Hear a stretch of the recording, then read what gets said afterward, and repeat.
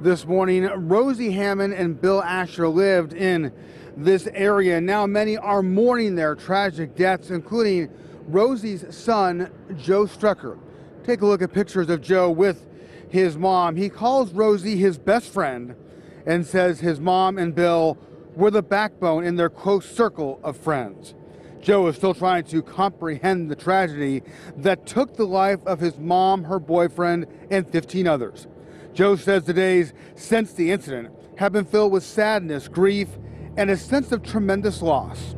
Rosie and Bill were at Table Rock Lake celebrating her birthday when the horrible incident happened.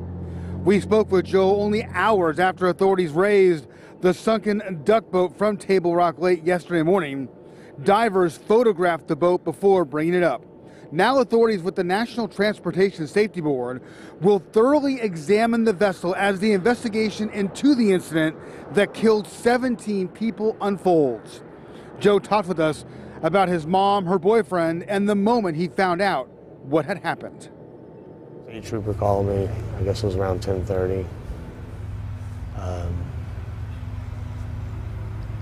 they let me know there was a boating accident. It's hard, it really is.